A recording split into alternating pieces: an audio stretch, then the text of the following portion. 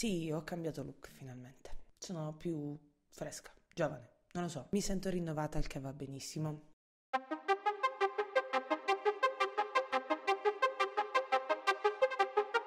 Hello, bentornati o benvenuti sul mio canale amici. La scorsa volta abbiamo iniziato a parlare di Vittorio Gregotti, ma del Vittorio Gregotti teorico. E proprio per rompere il ghiaccio abbiamo parlato appunto di quello che proprio da teorico pensa della teoria dell'architettura. Insomma, è stata una sorta di esperienza metafisica. Quello che vorrei fare oggi è concludere questo discorso svelandovi il pensiero di Gregotti sempre a proposito della teoria, ma la teoria del moderno. Perciò mettetevi comodi perché seguirà un'altra suppostina di quelle super accademiche che piacciono a me. Tuttavia, prima di iniziare devo ricordarvi che qui sotto c'è un pulsantino rosso, cliccateci su per iscrivervi al mio canale e non dimenticate di attivare la campanella così da rimanere sempre aggiornati sull'uscita di tutti i video futuri. Seguitemi anche su Facebook e Instagram Instagram dove potremo interagire e decidere insieme gli argomenti per i prossimi video e in più non perdetevi le mie live e le letture condivise e commentate che facciamo sul sito Viola. Occasioni settimanali di scambio di opinioni imperdibili. Perciò correte a seguirmi ovunque, mi raccomando.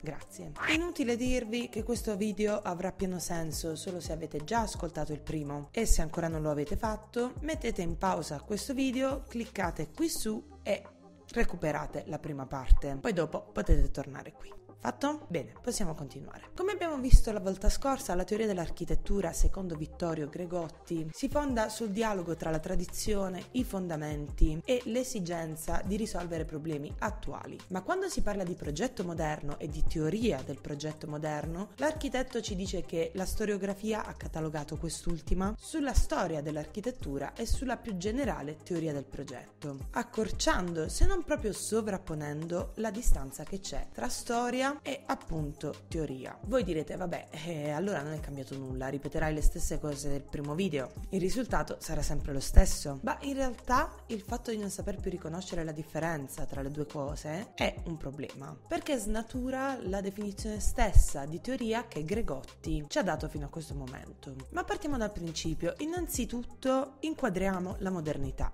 Anzi, facciamola inquadrare proprio a Gregotti. Sì, perché quelli che vi sto portando in questi due video dovete sapere che sono sono effettivamente i suoi insegnamenti. Quando aggiungo qualcosa di mio, ve lo dico. A questo proposito, Hobsbawm propone una divisione tra il periodo delle rivoluzioni, quindi dal 1789 al 1848, e il periodo del capitalismo industriale, specificando che durante il secondo c'è una sorta di esaltazione della relazione che c'è tra ragione e progresso. In ogni caso, in tutto questo periodo, l'arte si è legata a una sorta di storicismo eclettico, ma comunque vive di piccoli movimenti minoritari militari che rappresentano ovviamente solamente la borghesia industriale. E siamo anche arrivati ad un momento storico in cui la riflessione sulle belle arti si fraziona per diventare più analitica. Gli esperti infatti tirano fuori diversi settori sulla cui base interpretare e appunto criticare l'arte. Si parla di estetica, di critica poetica, di scienza dell'arte e addirittura e soprattutto di storiografia. Tutte branche estremamente connesse, ma ognuna con il proprio scopo e ognuna con i propri strumenti interpretativi narrativi, tutte però fondamentali riferimenti per la teoria dell'arte e quindi anche ovviamente per la teoria dell'architettura. Alla luce di questa nuova modalità, di questo nuovo approccio alla teoria delle discipline artistiche, capite bene che il trattato, che fino ad allora è stato l'unico strumento dell'analisi delle belle arti, cade in crisi, diviene uno strumento obsoleto, superato direi. Piranesi per esempio è stato il primo grande artista a rinnegare il trattato come chiave interpretativa dell'arte, ma altri grandi dell'epoca come per esempio Boulet o Ledoux, ancora negli anni 80 del 1700, rimangono legati al vecchio modo di fare e di intendere l'arte e l'architettura. In questi anni, quindi fine Settecento, assistiamo a un fenomeno abbastanza curioso, il ritorno al classicismo. E questa cosa accade maggiormente negli Stati Uniti, dove Jefferson e la Torb iniziano a prediligere le forme classiche europee alle influenze coloniali che si erano via via affermate negli States. E il perché di questo revival è abbastanza paradossale. Infatti si ritorna indietro nel tempo per favorire l'innovazione. E voi direte che? Eh sì amici perché il punto è che lo stile neoclassico si prestava alla perfezione per la declinazione dei vari materiali nuovi quali l'acciaio, il ferro, la ghisa. E questo perché le forme classiche derivate dalla più pura geometria denotavano una incredibile pulizia e semplificazione della costruzione, evidenziando quella che era una razionalità tecnica e scientifica, cosa che appunto ben si prestava alla costruzione di strutture ben calcolate arte che erano ormai tendenza in questo periodo storico. Tuttavia questo movimento si affiancava a quello dell'idealismo tedesco, che pur partendo da basi analogamente classiche, condannava di fatto l'idea di arte puramente hegeliana, ovvero l'idea che si trattasse di una disciplina che stava ibridamente nel mezzo tra la sensibilità immediata, quindi quello che puoi toccare verificare, e il pensiero ideale, quindi tra sensibilità reale e spirito. Oggi pure la filosofia ci mettiamo in mezzo. L'idealismo tedesco vedeva infatti l'arte come autonoma creatività soggettiva, in maniera puramente romantica possiamo dire, seppur con un gusto vagamente classico. Ma ho dimenticato di accendere la di architettura, facciamolo subito. Mm, meglio. Ma eccoci arrivare al XIX secolo, quando finalmente, nel campo della teoria dell'architettura, la storia del trattato se la sono messa via. Per lasciar posto a un grande ritorno, ovvero il ritorno del manuale. Cos'è un manuale? È un compendio di nozioni necessarie a capire l'importanza delle tipologie, soprattutto nella sfera pubblica. E perché nella sfera pubblica direte voi? Beh, perché siamo nell'Ottocento? E cosa accade in questo secolo? Sì, esatto, viene rifondata completamente l'idea di città. Con annessa riqualificazione di molte città, allora considerate le più grandi del mondo. Naturalmente a queste nozioni, che erano giustamente più teoriche, venivano affiancati molti approfondimenti sui materiali e sulle tecniche. E proprio su questo razionalismo neoclassico che abbiamo citato prima, ovvero veniva illustrato un nuovo modo per trasformare questi materiali in costruzioni ed esaltarli al massimo. E grazie all'avvento di questi manuali ci furono anche dei cambiamenti sociali, perché lo studio di questi volumi agevolò anche l'affermazione della figura dell'architetto come figura professionale. Tuttavia in Inghilterra possiamo dire che la faccenda era un pochettino diversa. I nostri amici britannici erano infatti molto più per il neogotico e questo perché architetti come Leduc ritenevano che fosse il gotico il miglior campo da gioco per giocare appunto con i nuovi materiali quali il ferro e la ghisa. E questo perché tutti quei virtuosismi del gotico proiettati verso l'alto, verso l'infinito e oltre, erano secondo questa gente il perfetto esercizio per questa tecnica. Dalla serie, cioè se regge così, figuriamoci in altro modo. Altro fatto che risultava anche più facile e quindi più appagante utilizzare quei materiali per ottenere le particolari e complesse forme tipiche appunto dello stile gotico. Ma questo è anche il periodo delle grandi esposizioni universali, tra cui appunto quella di Londra, un enorme pretesto per portare avanti questo dibattito sulla tecnologia e sulla tecnologia all'interno della teoria dell'architettura. Inizia infatti a diffondersi l'idea che il progetto industriale possa diventare un oggetto autonomo e un fatto d'arte. Diciamo che è in questo momento storico che il design industriale inizia a muovere i primi passi in un certo senso. Ma questa idea si trova in netta netta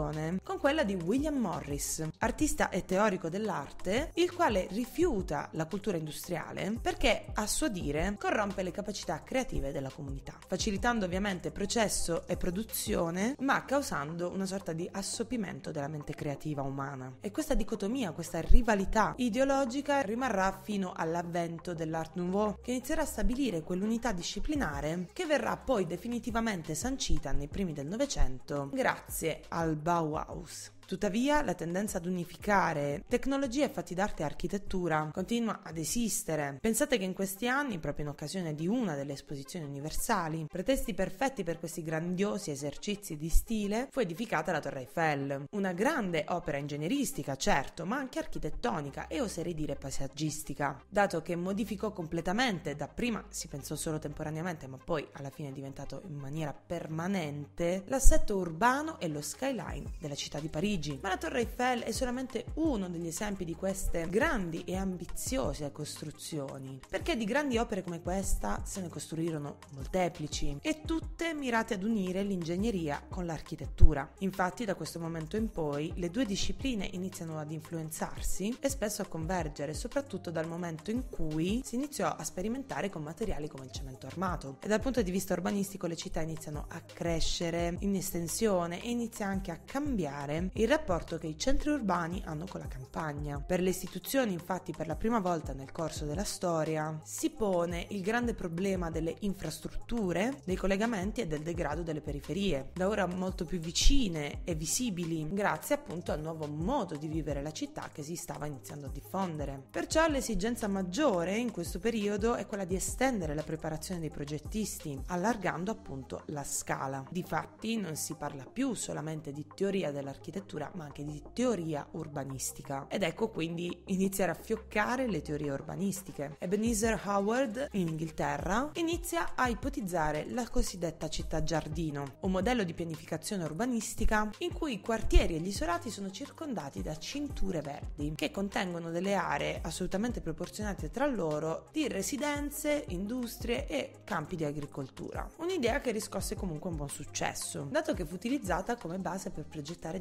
diversi centri urbani, nella realtà, come per esempio la nostra italianissima Milano Marittima, nata sì dall'ingegno di Giuseppe Palanti, ma sfruttando appunto la teoria di Howard. Ma questa tendenza ad ingrandire la scala di progetto naturalmente diviene esigenza di tutto il mondo, non solo degli inglesi. In Francia, per esempio, troviamo Garnier, che si diletta in una città ideale pensata per 35.000 abitanti, di cui progetta sia la scala urbanistica, appunto, che poi la scala architettonica. E anche negli Stati Uniti, ben presto, inizia il dibattito sull'urbanistica e sulle nuove idee di città anzi lì più che mai. In particolare citerei la scuola di Chicago e il suo approccio empirico allo studio dell'urbanistica, fatto anche dal punto di vista sociologico. Sempre al di là dell'Oceano Atlantico, in questo periodo, si affermano due concetti fondamentali, quello del landscapes e quello delle comuni, dei commons. Questi concetti dovete capire bene che sono molto innovativi per l'epoca e soprattutto ben lontani da quella che era la cultura inglese del XVII secolo. Praticamente inizia quello che è il dibattito dell'impatto della mano dell'uomo a scala paesaggistica,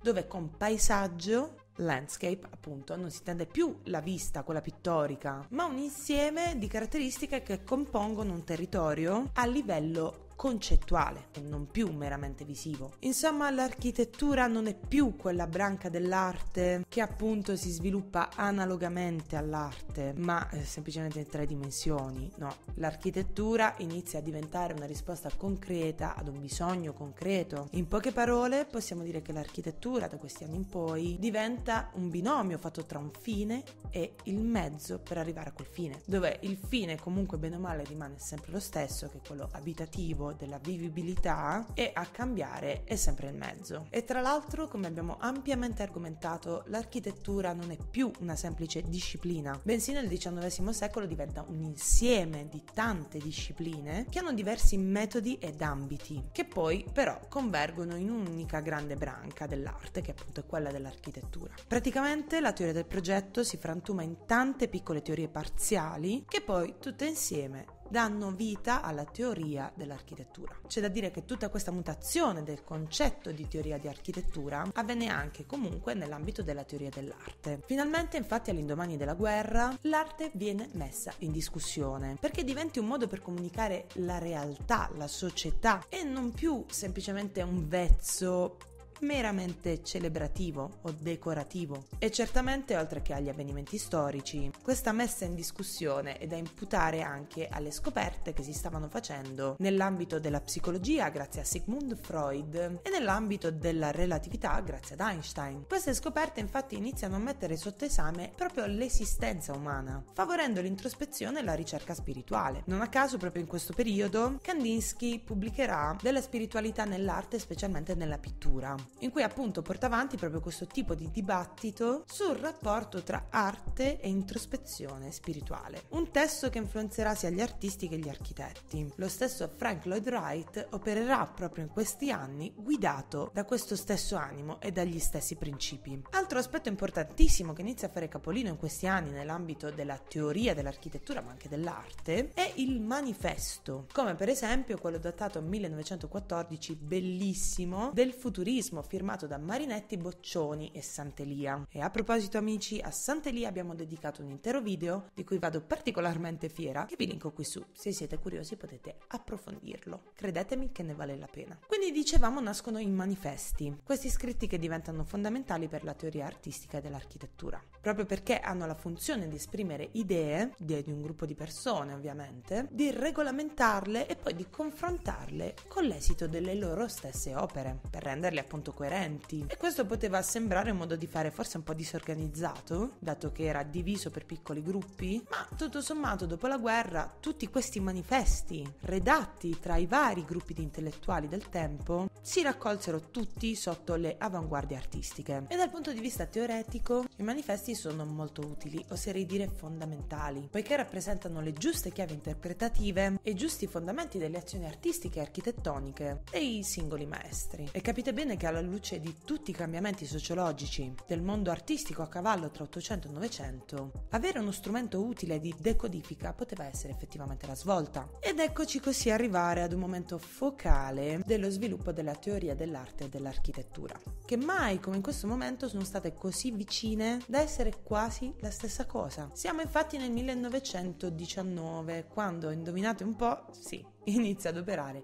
il Bauhaus, una scuola il cui fine ultimo era semplicemente quello della costruzione, fine raggiunto unendo tutte le discipline artistiche che in questo preciso momento, in questo preciso luogo, non sono più discipline distinte, ma concorrono in ugual modo, in ugual misura a creare l'intero immaginario intellettuale e artistico, appunto. E sono anche gli anni in cui nascono e si sviluppano le riviste di architettura, portatrici sane di diversi manifesti e veicoli di queste grandi grandi contaminazioni disciplinari tra le varie arti. E poi ovviamente sono i suoi anni. Sì, proprio i suoi, del nostro amato e allo stesso tempo odiato Le Corbusier, il poeta teorico dell'architettura, colui che ha scritto quello che poi di fatto è il grande manifesto dell'architettura moderna, quasi un vero e proprio trattato si può dire sul modernismo. E se mi seguite sul sito Viola lo saprete molto bene, dato che ogni giorno leggiamo insieme e commentiamo un pezzettino di questo testo di cui sto parlando, ovvero verso un'architettura di Le Corbusier. Inutile dirvi che se avete voglia io vi invito caldamente a partecipare a questa oretta di lettura insieme, un tempo incredibilmente stimolante e costruttivo in cui impariamo proprio le modalità in cui Le Corbusier rinnega gli stili architettonici in favore del processo e della funzione dell'architettura, rifiutandosi di diventare un nuovo decoratore ed un inutile virtuoso della disciplina e dedicandosi solamente al funzionamento e al rendimento di quella che definisce appunto la macchina dell'abitare fare. E citare Le Corbusier, sia pure nel bene o nel male, è a dir poco obbligatorio se parliamo di teoria dell'architettura. E se avete studiato architettura comprenderete benissimo il perché. È un innovatore, ragazzi. E se questo perché non dovesse bastarvi, lasciatevi ricordare che fu proprio lui nel 1928, insieme ad Hélène de Mandrot e Siegfried Gideon, a fondare il CIAM, il Congresso internazionale per l'architettura moderna, con la cui carta d'Atene nel 1928 1933 furono messi nero su bianco i fondamenti dell'architettura e dell'urbanistica moderna, enunciando i mezzi utili a migliorare la condizione dell'esistenza dell'uomo all'interno della città moderna, la culla, secondo i membri del CIAM, dello svolgere armonioso delle quattro funzioni primarie della vita, abitare, lavorare, divertirsi e spostarsi. Praticamente tutto ciò che è venuto dopo questo momento, in campo architettonico ovviamente, è nato nato proprio da questo documento. E beh, scusatemi se è poco, insomma. Poi, come spesso succede, ognuno dei membri del CIAM, esaltato da questo potere intellettuale guadagnatosi, ha creato delle proprie personali visioni della teoria dell'architettura, come per esempio Hans Mayer, all'epoca direttore del Bauhaus, che firma appunto un altro manifesto piuttosto radicale, il manifesto della dittatura della macchina del gruppo ABC. C'è da dire che Bauhaus era tipicamente rinomatamente il luogo di nascita di grandi focolai culturali che spesso rappresentavano delle vere e proprie minacce dal punto di vista politico. Infatti vi ricordo che il Bauhaus ebbe vita abbastanza breve, relativamente breve, perché infatti nel 1933 i nazisti, prima che si scatenasse un patatrack, chiusero baracche e burattini e tanti saluti al Bauhaus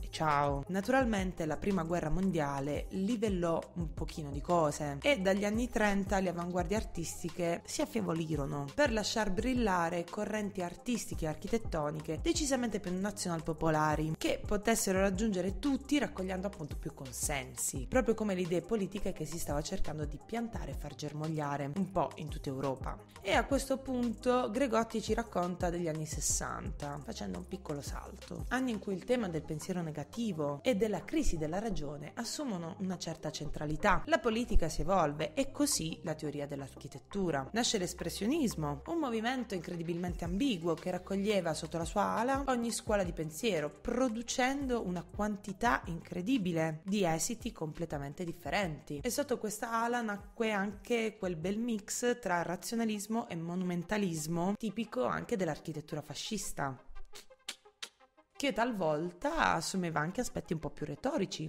come per esempio ci ha insegnato il buon Piacentini. Sì, parleremo di lui prima o poi, ve lo prometto. E proprio il razionalismo, seppur declinato in maniere un pochino diverse, si diffuse un po' ovunque in tutta Europa, ostacolato solamente dai simpatizzanti di Hegel e Nietzsche, che erano ancora per l'esaltazione del pensiero creativo non costretto da alcuna ideologia, ma aiutato da un accademismo più eclettico e decisamente meno rigido, possiamo dire. I critici più moderati del modernismo, ma ugualmente convinti della sua inadattabilità alla teoria architettonica, come era Gropius per esempio, si trasferirono a questo punto negli Stati Uniti, in America, dove l'approccio era decisamente più empirico e meno indottrinato dal pensiero modernista. Insomma, amici, in questa parte del discorso il buon Vittorio Gregotti ci insegna come l'epoca moderna sia stata in realtà decisiva per lo sviluppo della teoria architettonica così come la intendiamo noi oggi e soprattutto ci fa notare come teoria intesa come regole ed esempi e l'esercizio convergano sempre di più, quasi sovrapponendosi e divenendo necessari l'uno per l'altra. Ed eccoci quindi alla conclusione di questo discorso, amici. Io personalmente credo che la lezione di Gregotti su cosa sia e come si sia evoluta la teoria dell'architettura sia fondamentale per capire la teoria stessa e per poi riuscire ad applicarla al meglio all'interno del progetto architettonico. Ovviamente il discorso poteva continuare ed è decisamente più complesso di così, ma sono certa che avremo nuove occasioni per parlarne e approfondire il pensiero di questo grande architetto, ma soprattutto grande studioso e teorico dell'architettura, qual era Vittorio Gregotti. Gregotti. Vi prometto inoltre che prima o poi arriverà anche un supposto di architettura dedicato a lui come progettista. Abbiate fede e con calma parleremo di tutto, ve lo prometto. Per oggi però mi fermo qui. Spero che questi due video siano stati istruttivi e siano stati delle fonti preziose per il vostro studio e il vostro lavoro e che comunque un pochino vi abbiano tenuto compagnia. Se così è stato, vi invito a lasciarmi un like e a continuare a supportare il mio lavoro iscrivendovi a questo canale, seguendomi sui social e dando un'occhiata al merchandising che troverete nel link in descrizione. Io come al solito vi ringrazio per l'attenzione e vi do appuntamento al prossimo video. Ciao!